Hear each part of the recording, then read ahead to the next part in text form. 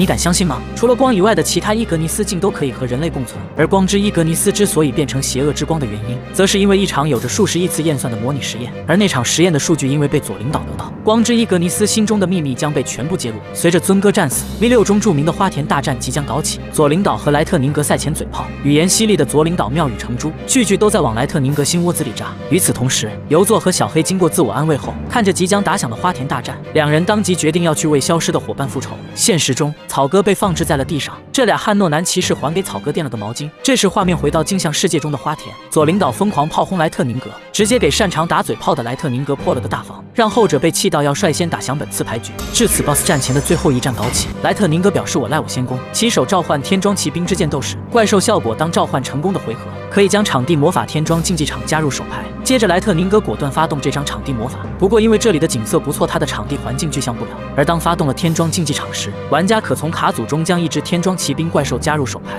莱特宁格选择的怪兽是天装骑兵锁敌手。紧接着莱特宁格又打出回路，用场上的天装骑兵怪兽作为链接标记，链接召唤天装骑兵之石夫长。此刻天装竞技场的另一个效果会发动，通过将手牌中一只等级四以下的怪兽送入墓地后，可以尽可能的在天装链接怪兽的链接端上召唤与送入不同的天装骑兵怪兽。莱特宁格舍弃手牌中的天装骑兵之短剑手，在石夫长的链接端上特殊召唤剑斗士。随后莱特宁格要发动手牌中锁敌手的怪兽效果，将手牌中除他以外的天装骑兵送入墓地，将自身从手牌中特招上场。莱特宁格用两只杂鱼骑兵作为素材，链接召唤天装骑兵之百夫长。莱特宁格用百夫和十夫作为素材，链接召唤被授予新力量的光之骑士，其名为链接三天装骑兵之三叉戟配管官。这一刻灯光聚集到三叉戟的三个标记上，警惕的左领导感觉莱特宁格根据他的卡组做出了针对，而这只三叉戟骑兵的怪兽效果则是当身处额外链接区时，翻倍自身的攻击力到二千二百。最后莱特宁格覆盖一张卡结束回合。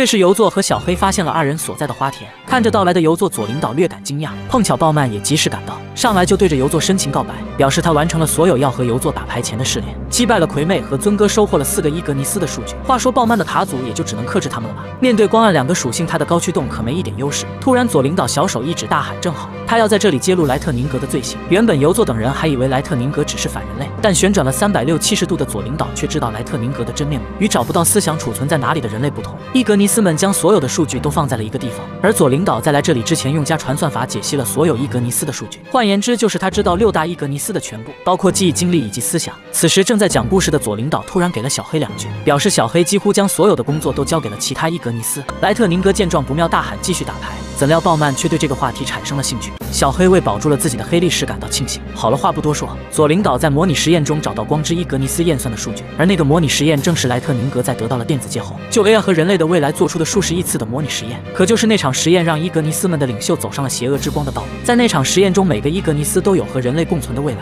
包括风之伊格尼斯温蒂都有和人类繁华到一定程度上的未来。小黑听后质问左领导：“红上博士做的模拟实验，不是伊格尼斯会毁灭人类吗？”左领导表示，自家老爸是针对全体伊格尼斯做出的实验，而且那个结果并没有出错。但左领导却是在针对了个别伊格尼斯的实验中找到了真相。在其他伊格尼斯都有繁荣的未来后，剩下的光之伊格尼斯会毁灭全部。也就是说，莱特宁格不光没有和人类共存的未来，并且他还会导致其他伊格尼斯和人类的未来走向破灭。无视莱特宁格的左领导表示自己没有将这个真相告诉任何人，但亡灵哥却凭借自己的直觉，一眼就看穿了莱特宁格内心中的黑暗。此刻左领导对莱特宁格公开处刑，称莱特宁格不是个优秀的 AI，他比其他伊格尼斯强的地方就在于会想出卑鄙的手段。此刻被气到揪自己的莱特宁格愤怒到了极致，坦白自己就是因为不认同那个实验，不愿意承认自己比其他伊格尼斯略逊一筹，所以才制造出了超越伊格尼斯的暴曼，想要弥补他们伊格尼斯的缺点。小黑听后让莱特宁格将们取掉，只有你才是最大的缺点。你知道故布疑阵的左领导是如何发动汉诺的四重崇高力量，诱使莱特宁格踏入陷阱，从而一举解决掉棘手的裁决之使的吗？就在刚刚，左领导讲述伊格尼斯和人类共存的模拟实验，结果是除了光以外的伊格尼斯都可以和人类共存，而且还都有着极致繁荣的未来。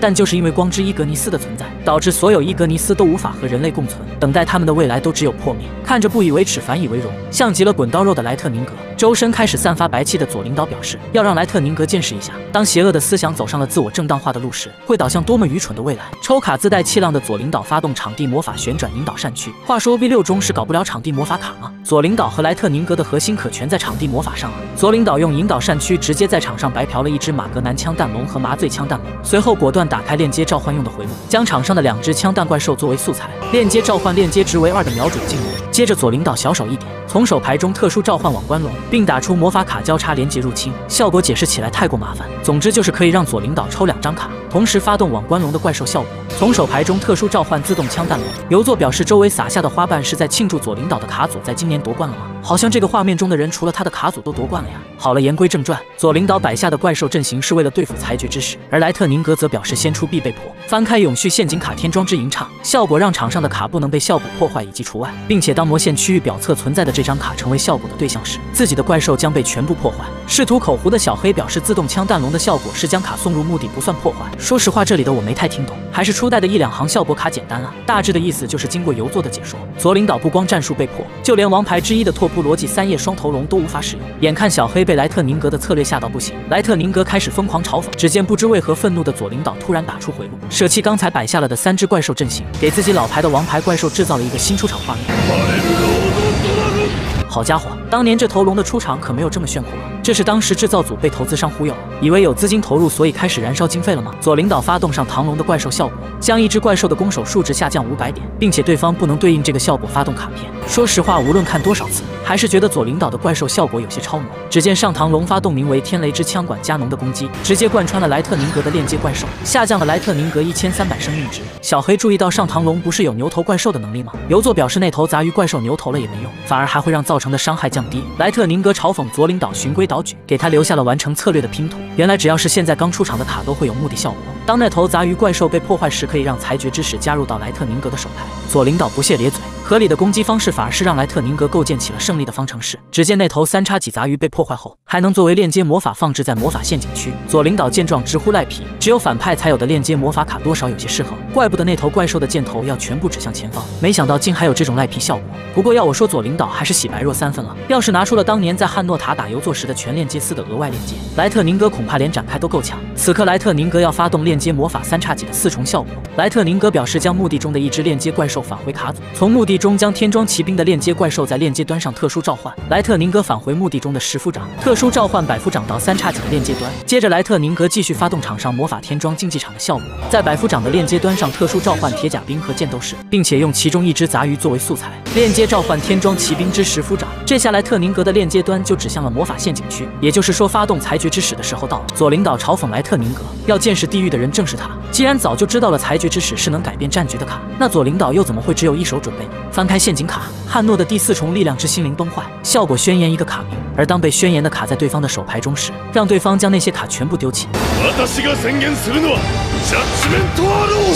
这一刻，裁决之使崩溃，莱特宁格的赖皮手段之一被彻底搞掉。你见过左领导在花田大战时用两只等级四的怪兽作为叠放素材，超量召唤出的枪管装填超充能龙吗？在此之前，左领导用汉诺的第四重崇高之力彻底打掉了赖皮且棘手的裁决之使。察觉到自己被算计了的莱特宁格表示要将左领导打到毫无还手之力。首先用场上的三只怪兽作为素材，组成链接值为四的回路，链接召唤王牌怪兽之天装骑兵中的总指挥官，同时发动墓地中的铁甲兵效果。当作为链接素材而进入墓地时。通过支付玩家的一千生命值，让当时成为素材的怪兽全部返回到卡组。接着莱特宁格要根据总指挥官的标记数量，将墓地中同数量的卡拿回卡组。再接着让对方玩家从墓地中选择一张卡，加入到莱特宁格的手牌中。目前莱特宁格墓地中的卡只有一张。正如左领导所说，裁决之使是个拥有改变战局力量的卡。那么对于保护这样的卡，他也不会只有一手准备。眼看左领导无动于衷，莱特宁格自觉地拿回了裁决之使。游作表示莱特宁格也付出了巨大的代价，而且里波路霸不会像森林冰火人一样轻易落败。此刻莱特特宁格。果断将裁决之使放置在魔线区域，并让总指挥官发起怪兽间的攻击。而就是这个瞬间，左领导要发动上唐龙的抗敌子弹。虽然总指挥官有着让链接怪兽的效果发动无效并破坏的效果，但效果的优先级并不在上唐龙的效果前面。莱特宁格表示无所谓，就算比拼攻击力，他也不惧。发动裁决之使的赖皮效果，翻倍总指挥官的攻击力到五千。只见炮火洗礼了枪管上唐龙，将左领导的生命值变为两千。目前决战双方的生命值都差不多，但因为裁决之使的存在，让左领导陷入前所未有的劣势。莱特宁格见状。开始嘴炮嘲讽，毫不掩饰的口头禅暴露了他的另一个秘密。左领导表示，你们总算注意到了莱特宁格和温蒂的性格相同的这件事。原本伊格尼斯之间的事情他不想过多解说，但既然提起了，那就是在给莱特宁格增加一重罪恶。正如布灵梦当时怀疑温蒂性格大变时所说的一样，温蒂的性格确实变得异常偏激。小黑听后立马反应过来，并表示以前的温蒂是个很好说话的家伙。那么温蒂现在之所以变为如此反人类的原因，正是莱特宁格用手段修改了温蒂的程序，而且那个手段还是强制性的卑鄙手段。因为左领导查过温温蒂的模拟实验记录，确定了温蒂在实验中并没有演化出邪恶的性格。所以借用游作的话说，就是温蒂的邪恶来自于莱特宁格，怪不得莱特宁格会给温蒂施加病毒程序，用温蒂带着布灵梦一起上路，暗之伊格尼斯不敢相信，他们曾经竟然相信莱特宁格作为他们的领袖。眼看莱特宁格对此还挺自豪，看不下去的左领导果断出击，语言炮轰莱特宁格，轻轻松松便将莱特宁格喷到破防。要么说嘴炮方面还得看汉诺骑士成员都是语言上的人才。只见左领导在小手一指，果断结束莱特宁格的回合，发动旋转引导扇区的场地效果。当对方场上的怪兽比自己多时，根据差值召唤同数量的怪兽。左领导从手牌中召唤看起来像杂鱼的格里龙。此刻莱特宁格嘲讽左领导，要想打败拥有裁决之使加成的总指挥官，就必须搞出一只五千攻以上的怪兽。左领导发动格里龙的怪兽效果，从卡组中将同名卡特殊召唤到对方的场上，上来就给莱特宁格吓了一跳。左领导表示，格里龙在场上存在自身以外的怪兽时不会成为攻击对象，而且用卡的效果特殊召唤的时候要在回合结束进入目的。这时只有游作看出了左领导的目的，既然同样等级的怪兽现在有两只。那么左领导自然要进行超量欧巴类！只见一番汹涌狂暴的特效过后，左领导的超量怪兽枪管装填超充能龙便闪亮登场。你知道纵观七部游戏王中最虚伪、最拉胯且最不讨喜的 BOSS 为什么是鲍曼吗？其一是因为这个家伙输牌次数太多，唯一一个正大光明击败的人还是魁妹。其二是性格复杂，嘴上说的好听，可做的太过差劲。其三是在这场左领导与莱特宁格的花田大战中，鲍曼嘴上说的和做的都非常正义，但就是出手的时机显得自己太过虚伪了。就在刚刚，左领导用场上的马格南枪弹龙和格龙作为四阶级的叠放素材，超量召唤枪管装填超充能龙。游作感慨：李波路霸永远有超乎人们想象的卡。莱特宁格看见后不屑一顾，左领导顺势嘲讽莱特宁格，并发动超充能龙名为抗敌增田的怪兽效果，通过去除一个叠放素材，先将一只怪兽的攻击力下降六百点，然后复活墓地中的一只。枪管怪兽，注意是无视等级的复活，没错，复活的正是另一头的三千怪兽枪管上唐龙。左领导让超充能龙进攻总指挥官，而就是这个瞬间，枪管装田龙的怪兽效果会发动，名为抗敌子弹，下降对方怪兽五百攻击力。这下即便加上裁决之时，总指挥官的攻击力也达不到三千了。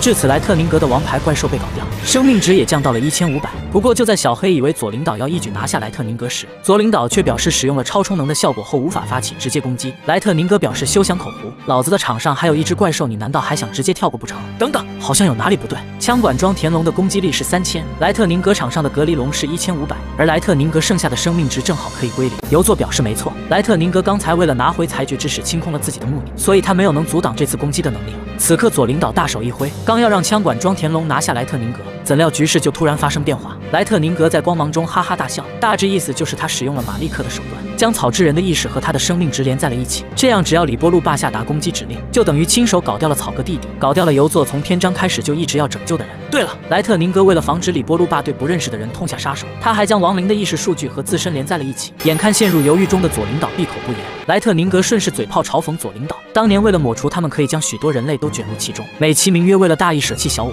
怎么如今却变得婆婆妈妈的了？左领导闻言被瞬间激怒，当即就要下达攻击宣言，可却被一旁的游作用名为羁绊的嘴炮阻止。试图挣扎的左领导想用草哥的事情堵住游作的嘴，怎料这个无情打牌机器已经不是当年的复仇者了，现在的他伶牙俐齿，相当能说。于是人彻底麻了的左领导只能覆盖一张卡结束回合。放弃了这次能百分百击败莱特宁格的机会。此刻得意的莱特宁格开始给自己增加罪行。坦白，草之人之所以到现在还很自闭的原因，就是因为莱特宁格在刚诞生的时候就获得了入侵网络的能力，并且他还从懦弱的草之人身上学习到了如何给人恐惧。原来，在草之人因输掉决斗而被电击到晕倒后，意识刚刚苏醒的一瞬间，莱特宁格制造了一个救援来了，可以从这里逃出去的幻觉。于是，正当人帝处于劫后余生的心态时，莱特宁格就给予了他前所未有的恐惧，彻底磨灭了草之人的希望。左领导怒喷莱特宁格是个从出生起就拥有邪恶思想的 AI。必须要在这里彻底埋葬掉他才行。可如今的左领导是投鼠忌器，隐藏的王牌进出，却没有拿下莱特宁格。汉诺三骑士吐槽，如果是当年的篇章 BOSS 咸蛋超人，绝对会毫不犹豫地做出判断。而就在莱特宁格要反击的时候，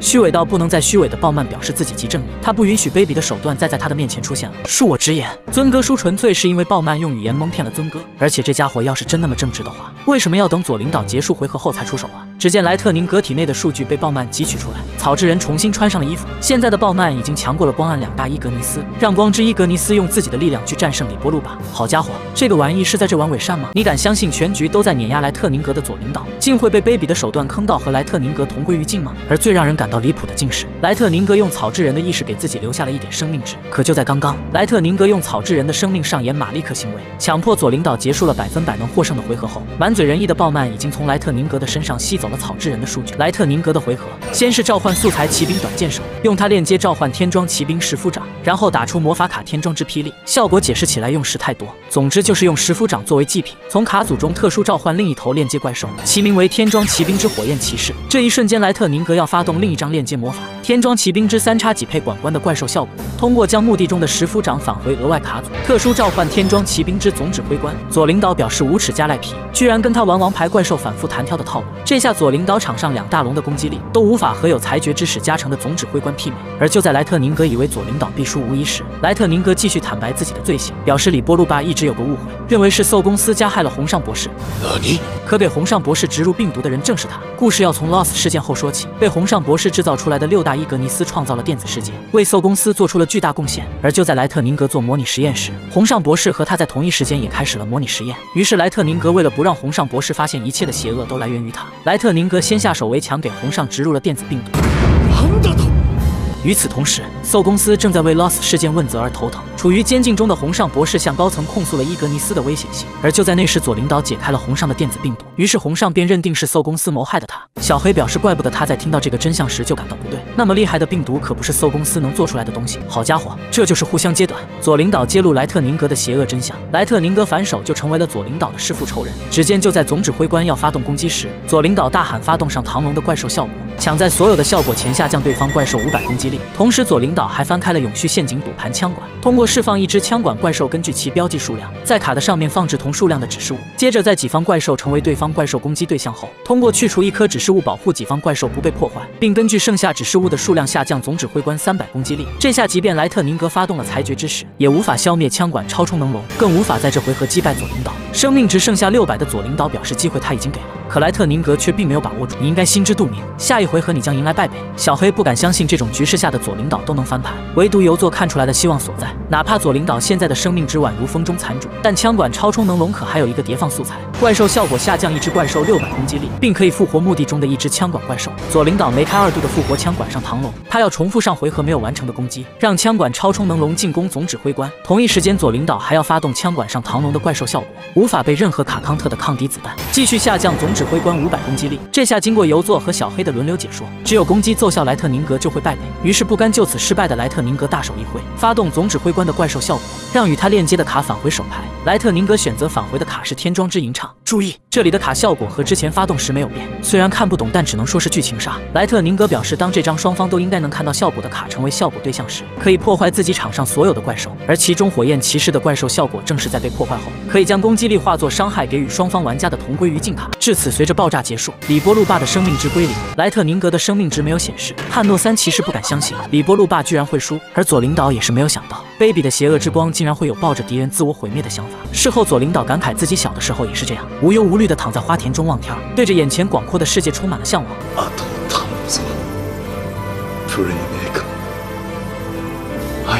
话说，当李波路霸喊出小黑的名字时，应该就认同小黑是他的同伴了吧？然而左领导还是低估了莱特宁格的邪恶与卑鄙。只见这家伙的生命值竟还有一点。游作和小黑直呼离谱。刚看到这的时候，我还以为是莱特宁格有卡的效果保命，但随着鲍曼说出莱特宁格没有交出草之人的全部意识，反而是将那些转换成了额外的生命值后，我只能说这两个大小 boss 实在是凭一己之力就拉低了游戏王历代 boss 十三格。你见过鲍曼用赖皮技能大师风暴链接印出来的卡，从未出现过的链接五怪兽嵌合高驱动巨龙吗？链接召唤的条件需要五只指定属性的链接怪兽，而吸收了五大伊格尼斯数据的鲍曼，竟然能在初始的起手回合内就将它召唤上场。只见刚才的鲍曼还满嘴仁义的声讨莱特宁格，可实际上他只是为了吸收莱特宁格。之前在左领导被迫结束回合后出生就够虚伪的了，结果他在明知莱特宁格没有交出人地的数据后，却还是满嘴正大光明的纵容。要么说他不愧是莱特宁格制造的产物，在极致邪恶的基础上竟还增加了伪善。反正现在的鲍曼已经吸收了五个伊格尼斯的数据，剩下的伊格尼斯仅剩小黑。那么这里让我们大胆的猜测一下，这个不讨喜的 BOSS 能和游作打上几个回合？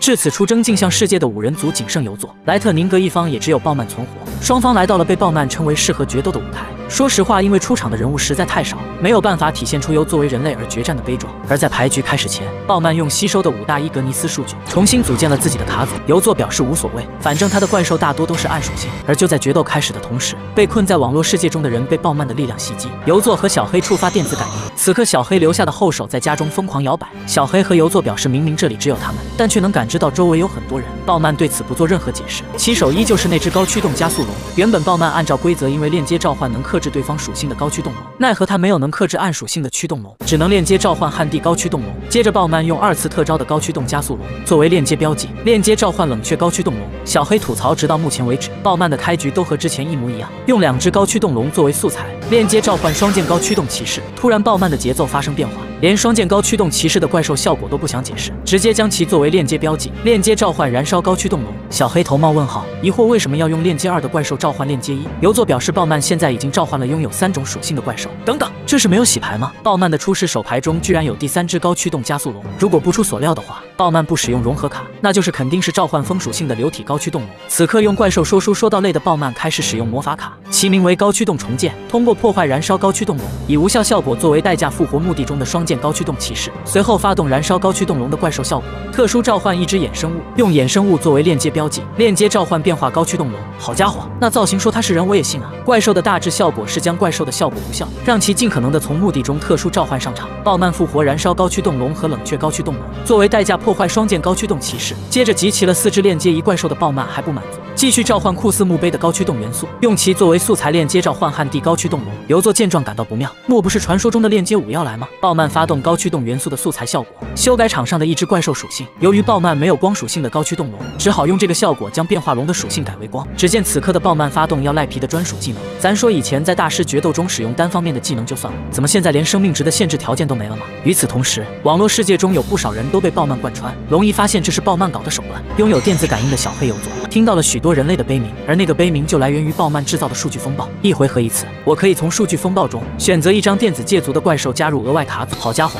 这就是明着赖皮。而随着鲍曼硬卡完成，刚才被贯穿的人类全部倒下，表示时候到了的鲍曼打出链接用的回路，表示召唤条件是属性不同的五只链接怪兽。游作和小黑听后直呼离还真是传说中的链接五怪兽吗？鲍曼表示没错。就在所有人观战的人的目光注视下，链接五的怪兽嵌合高驱动巨龙诞生。这只攻击力高达四千的链接五嵌合高驱动巨龙，在特殊召唤时可以放置一颗。指示物怪兽效果更是赖皮到无以复加的地步。小黑见状抱头埋怨，他没想到鲍曼竟然真的印出了链接五怪兽。游作听后并没有搭理小黑，反而是质问鲍曼刚才的悲鸣是怎么回事。有问必答的鲍曼表示那是网络世界中人的意识。大致剧情就是鲍曼开发了一个究极系统，功能是将人类的大脑所拥有的能力发挥到极致。而说白了就是刚才鲍曼召唤的硬卡风暴。总之，鲍曼是个伪善的人，性格复杂的他嘴上说的好听，实则就是利用人类的意识印出这头嵌合高驱动巨龙。天真的小黑表示，在莱特宁格用草之人作为挡箭牌的时候，鲍曼你不是说很卑鄙吗？对此，鲍曼解释莱特宁格的行为是为了限制里波路霸的战力，把我和莱特宁格相提并论很过分。小黑怒喷鲍曼虚伪，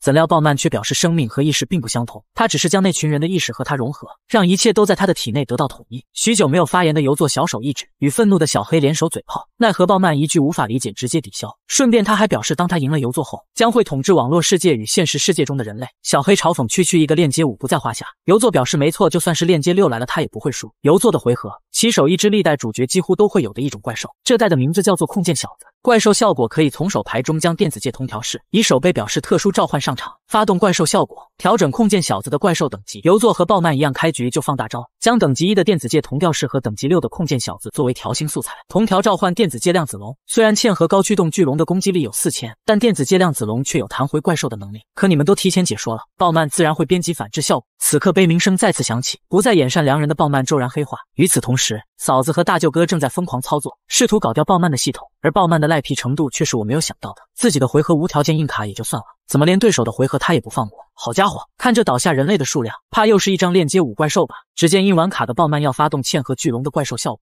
一回合扔一次骰子，根据骰子扔出的属性选择对应的龙头，将巨龙返回手牌，特殊召唤被选中的龙头。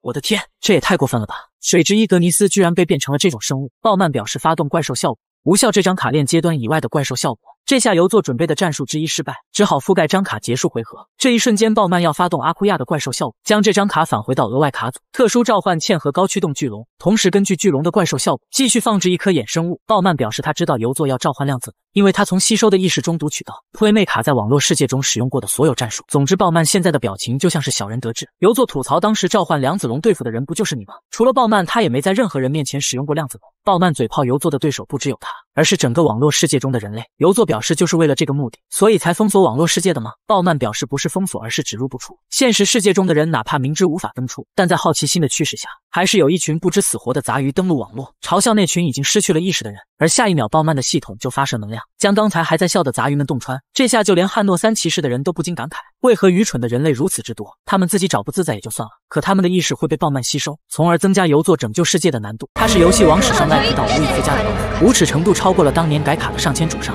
其他 BOSS 虽然也赖皮，但都有合理性。可暴漫却是无视了大师决斗的规则，无视了生命值需要低于一千以下才能发动的条件，直接发动专属技能，当面无条条件的硬砍，看得游作小黑龇牙咧嘴。而鲍曼为了给自己的硬卡提供合理性，用网络。世界中人们的意识构建能硬卡的数据风暴。此时 V 六中剩余的路人角色开始想办法破解鲍曼的神经元系统，要不然让鲍曼这样继续下去的话，网络世界中的人可就要全部破灭了。话说这里的剧情就有点像 Z 四中的最终 BOSS 战，不打掉上千主上的元素，网络就无法破局。可这代的游自备成员是游作呀，哪怕 BOSS 连印三张卡，他也毫发无损。恕我直言，鲍曼还是没有从游作的身上学到精髓。文明网络世界的 Playmate 卡之所以没有败绩，纯粹是因为他的心态良好。纵观全剧，游作几乎都没有想要放弃的想法，没有从游作身上学到无情打牌机。的鲍曼继续嘴炮，可游作一说起来也是个语言天赋爆棚的人，三言两语就给感觉自己嘴炮挺厉害的鲍曼讲到想要打牌的地步，发动嵌合高驱动巨龙的怪兽效果，其名为裁决之骰子，根据扔出的属性特殊召唤对应的怪兽。话说这个造型倒是很给布林梦面子，天真的鲍曼上来就大喊最后一击，解释布林梦的怪兽效果是当特召成功时，将链接端以外的怪兽破坏掉。千钧一发之际，游作淡定的贯彻自己入坑王的称号，发动墓地中电子界同调式的怪兽效果，让他代替场上的怪兽被破坏。这个暴曼是真的没有一点逼格。有气无力的让布林梦龙头击退游座的电子界量子，只是下降了游座一千五百生命值，好像说的最后一击是在放排气。而当双方的回合结束时，龙头将返回卡组，取而代之的是复活嵌合高驱动巨龙。同时，鲍曼根据巨龙的怪兽效果放置第三颗意义不明的指示物。与此同时，汉诺三骑士经过长达三级的分析，终于得出破解鲍曼系统的时机是在发动技能时。正好网络世界中有娇娃和大舅哥作为内应，两人接到了汉诺三骑士的连线，双方达成了合作共识。原本拎不清的大舅哥还不想合作，但一想到自己准备养着当老婆的妹妹都没了，大舅哥最终还是同意了合作。恕我直言，如果游作知道他们在做什么的话，估计会来一句用不着吧。游作召唤时钟周期翼龙，发动怪兽效果，以减半攻击力作为代价，特殊召唤一只衍生物。接着由作用衍生物作为链接素材，链接召唤链接一的链接蜘蛛怪兽效果，特召等级四的怪兽到自己的链接端，由作召唤新的怪兽原型精灵，随后用时钟周期翼龙和链接蜘蛛作为素材，链接召唤链接二的时钟周期龙牙兵怪兽效果，当召唤成功后，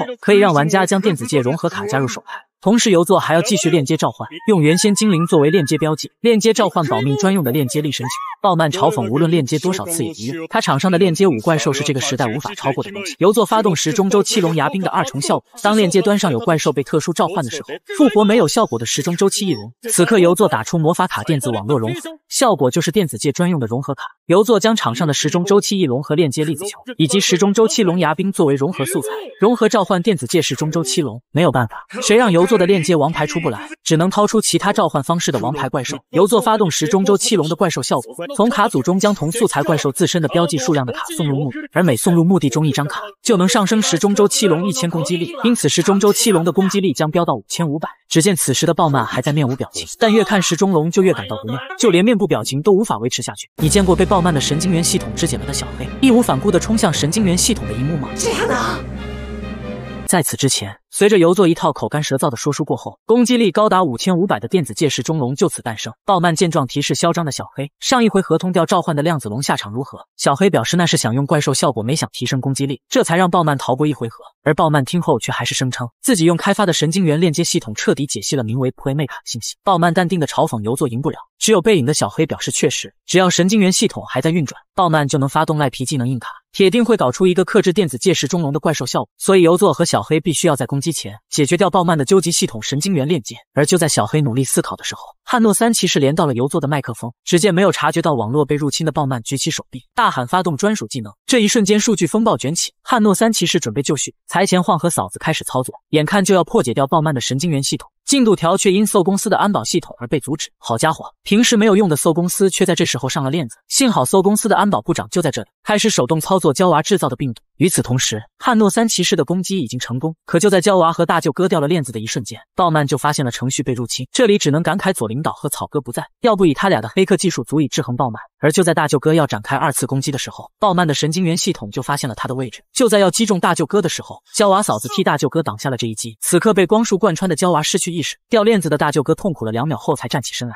刚准备按下启动攻击的按键，自己就因没有争分夺秒而被贯穿。鲍曼感慨人类中的精英不可小视，居然找到了里应外合攻击神经元的方法。不过很遗憾，负责从内部破坏的两人被搞掉了。游作闻言不屑咧嘴，紧握拳头示意愤怒。与此同时，失去意识的大舅哥跪倒在地，手指依旧停留在按键之上，认为万无一失的鲍曼继续发动技能，结果下一秒神经元就被病毒入侵，能硬卡的数据风暴也就此消散。而就在所有人都感到疑惑的时候，汉诺三骑士中的大哥注意到，是失去意识的财前晃按下了启动按钮。原来就在大舅哥失去意识的同时，脑中闪过了自己与妹妹的点点滴滴。好家伙，这就是回忆杀的力量吗？这下神经元被迫的爆满头疼不已。本应重合的镜像世界和网络世界开始分离，处于镜像世界的游作看到了网络世界中的惨样。这时几乎已经全部空座的搜总部发现了神经元链接停止的事情，所有人通力合作，让被困在网络世界中还没有彻底倒下的人全部登出。怪不得葵妹在出征镜像世界时要把娇娃留下，她的数据病毒在这里起到了至关重要的作用。此刻小黑大喊时机降临，他和游作要在这回合彻底打掉鲍曼。鲍曼听后不信邪的发动嵌合高驱动巨龙的怪兽效果。只要扔出对应的属性，就能召唤同属性的怪兽。然而，由于刚才没有印出来光属性的龙头，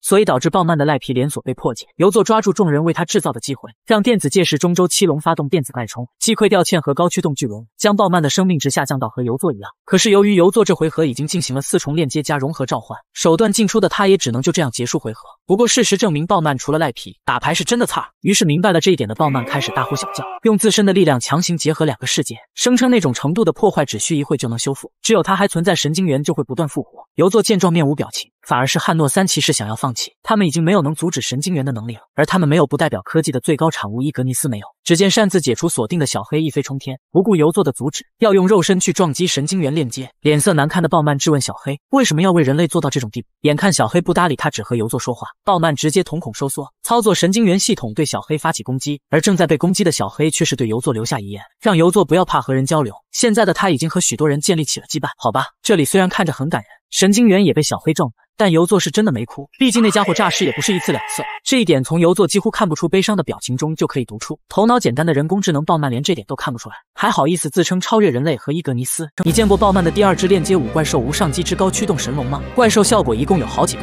首先是让攻击力飙到五千，然后是免疫战斗伤害以及不会被破坏，其次还有个根据墓地中高驱动卡的数量，给予玩家大额伤害的瞬杀效果。随着小黑被鲍曼肢解后，神经元系统暂时无法修复，可鲍曼却还是表示要在这回合终结游作。话说这家伙的块头是真的大呀，脑袋和身体的比例看着有点不协调的感觉呀。鲍曼发动魔法卡高驱动再降落，其中一个效果简单直接，无效效果复活墓地中的一只怪兽。鲍曼复活好不容易被游作搞掉的嵌合高驱动巨龙，虽然用这个效果复活的怪兽会在回合结束后被破坏，但用来当祭品或者素材却是再好不过。只见鲍曼在此刻打出了反派的核心魔法卡裁决之时，而就在观战的众人以为鲍曼是要翻倍攻击力硬拼十中龙的时候，鲍曼竟又启动了自己的专属技能，神经元系统也随之复活。游作不慌不忙的让鲍曼找个理由，而鲍曼这个赖皮也是真的无耻，在网络世界中找不到可以吸收的人后，竟然开始吸收这片世界的数据，构建数据风暴。游作大喊住手，这样做的话会让以后没有地方打牌。鲍曼表示，若是付出这样的代价就能击败游作，对他来说就算便宜的。说实话，这里也就是鲍曼无视规则，要不然鲍曼这个 boss 也不是太赖皮。只见此刻的鲍曼要将场上的链接五嵌和高驱动巨龙作为素材进行链接召唤。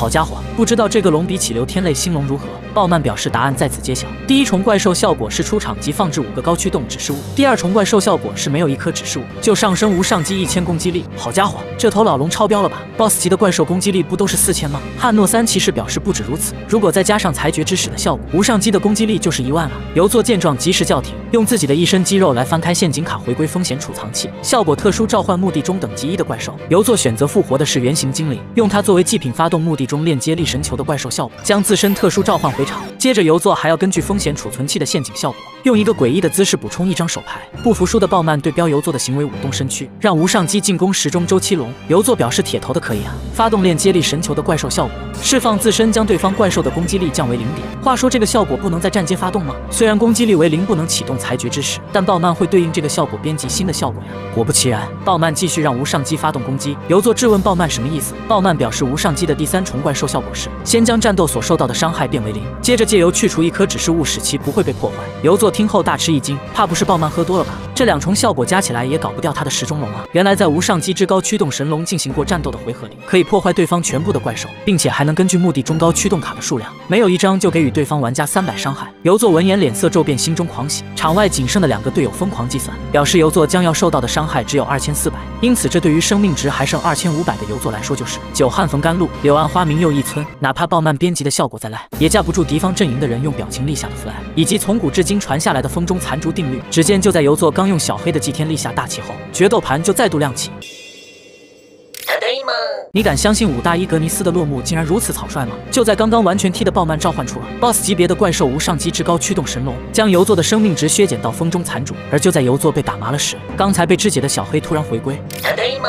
身为能对标光的暗之伊格尼斯，他早就料到了会发生这样的事情，所以事先在机器臂的身体里留下了备份。不过那却是个赌命的办法，因为复原的可能性极低，所以小黑刚才留下的遗言是真心话。眼看哪怕小黑祭天也只能暂时压制住的神经元系统，游作明白，想要击败鲍曼就必须要在这回合决出胜负。机智的小黑让游作帮他争取些时间。他刚才冲进神经元，除了试图将其破坏以外，就是为了打出个能进入到神经元中的漏洞。了解到小黑计划的游作让其小心，毕竟想要击败鲍曼就需要用到其他伊格尼斯的力量。只见小黑顺着游作的身体入侵镜像网络世界，进入到刚才打出来的漏洞，而被鲍曼吸收的五大伊格尼斯就在这里，只不过都已经陷入昏迷。小黑上前唤醒阿库亚和布灵梦，布灵梦吐槽小黑不够仗义，出征前居然没提醒他俩也留下备份。注意，这里的温蒂已经不再是红眼状态。此刻，小黑发出攻击，试图救出阿库亚，怎料被惊醒的莱特宁格却告诉他，五大伊格尼斯已经和鲍曼彻底融合。阿库亚表示没错，必须要趁着神经元短路的这回合击败鲍曼。莱特宁格一边嘲讽小黑自投罗网，一边将鲍曼也拉了进来。布灵梦劝说小黑不要管他们，赶紧回去帮助游作打倒鲍曼。可是，在小黑看来，打倒鲍曼后，五大伊格尼斯也会随之消失，而且没有五大伊格尼斯的力量，他和游作也搞不过鲍曼。阿库亚听后立马反应过来，连忙让布灵梦给他力量。只见两人的合力将老土和温蒂的力量牵扯了出来。莱特宁格试图克制自己的力量，怎料阿库亚和布灵梦的合力不是现在的他所能匹敌。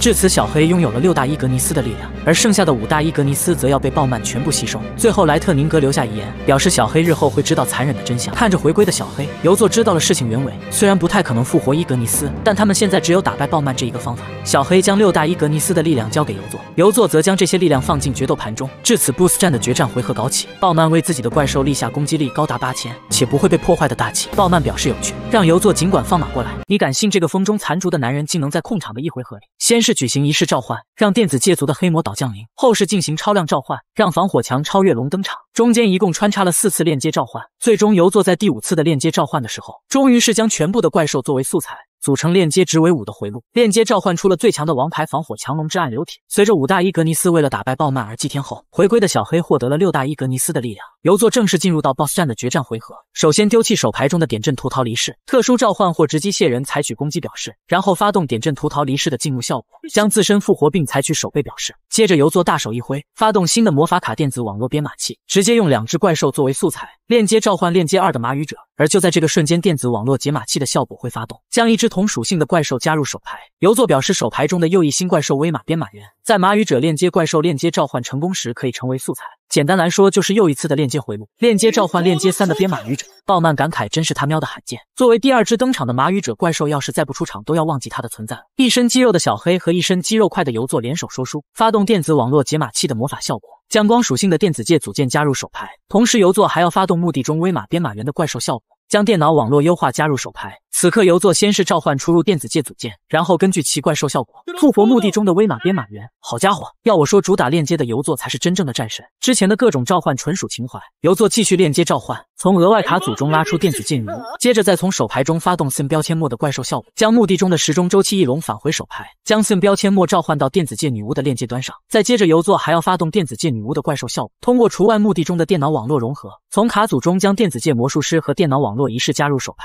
同时，由于电子子界女巫的怪兽效果，游作还能在场上复活控件小子。小黑大手一直表示，根据小子的怪兽效果，可以特殊召唤时钟周期翼龙上场。游作将等级三的小子和等级五的标签墨作为祭品，仪式召唤电子界族中的黑魔岛。电子界魔术师采取攻击表示。此刻说书已经疯狂的游作，要用时钟周期翼龙和电子界组件构建叠光网络，超量召唤阶级为四的防火墙超越龙。鲍曼见状顿感不妙，只见游作在进行仪式和超量召唤后，还要用场上的两只怪兽组成链接符。链接召唤再不登场，就要被遗忘的转码愚者。游作表示鲍曼好像是听不到，众人在引导他的声音。这里天真的鲍曼还真的竖起耳朵认真听，但游作却告诉他是羁绊的力量，只用三言两语便动摇了鲍曼的心态。这一刻，电脑网络编码器的效果会发动，将地属性的代码生成者加入手牌。好家伙，游作为了这次的说书究竟准备了多少张新卡呀？发动魔法卡电脑网络优化效果，召唤代码生成者上场采取攻击表示。此刻排界舞王扭动身躯，用健美的英姿甩出链接召唤用的回路。只见此时的游作要将电子界魔术师和代码生成者以及转麻语者设置为链接标记。游作大喊链接召唤，用六大伊格尼斯的力量让防火强龙完成进化。链接召唤链接值为五的防火强龙之暗流体。鲍曼看见后直呼不可能，哪怕就在眼前，他也不相信游作能召唤链接五的怪兽。你见过游作的最强王牌怪兽防火强龙之暗流体吗？攻击力最高能飙到一万三千点，集六大伊格尼斯的力量于一身。虽然同是链接值为五的怪兽，但暗流体却要远远的强过鲍曼的无上机之高驱动神龙怪兽效果。当墓地中存在融合怪兽、仪式怪兽、红条怪兽以及超量怪兽的时候，可以在身上放置四颗指示物。只见此时的游作连卡都不盖，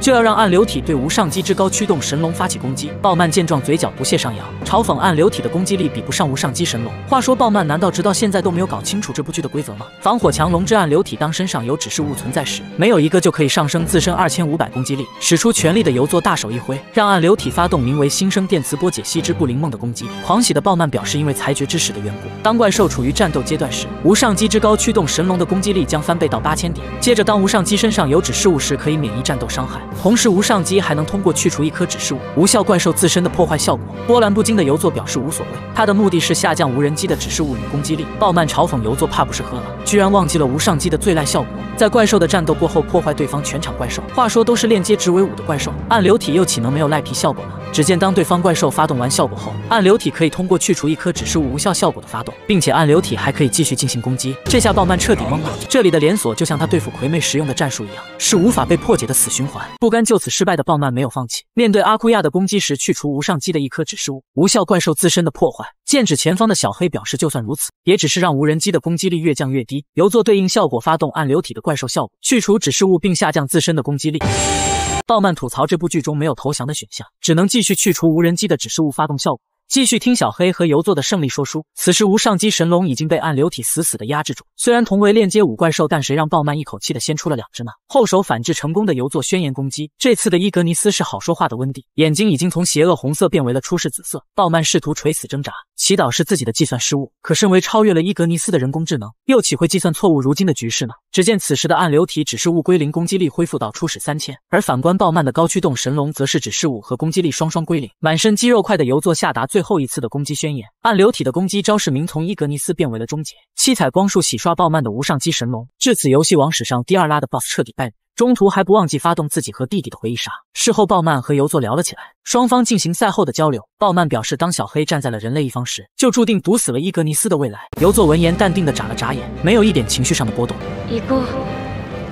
说实话，这两人在剧中几乎没有交流，但兄弟情却是超乎想象的深厚。只能说腰斩导致日常被删。这部剧除了打牌就是打牌，没有任何多余的剧情来塑造角色。事后小黑痛苦流泪，因为不光是他的同伴，就连游作的同伴也全都牺牲。不过也不知道是鲍曼有意为之，还是编剧的特意安排，只是复活了人类一方牺牲的人，而五大伊格尼斯却是彻底消失了。随着鲍曼和莱特宁格的消失，镜像世界毁灭。时间来到了几个月之后，游作帮草哥烤了几天热狗，好像穿着睡衣的魁妹来照顾生意，奈何游作压根不搭理他。对于打牌机器来说，还不如 SO 公司最新研发的人形仿生机器有吸引了。过了一会，等魁妹走后，尊哥恰到好处的来趁杯咖啡。李波路霸带着亡灵来此宣战。虽然小黑在那场大战后就离开了，但左领导还是想要彻底的消灭伊格尼斯。于是双方从同盟关系又决裂到了敌对双方。不过这倒也正好，毕竟咬牙切齿的尊哥想打李波路霸挺长时间了。与此同时，不知是那片空间，五个伊格尼斯的墓碑屹立在此，地上还有朵用来祭奠的花束。没错，这就是小黑的人类形态，也是游戏王第六部的最终 BOSS。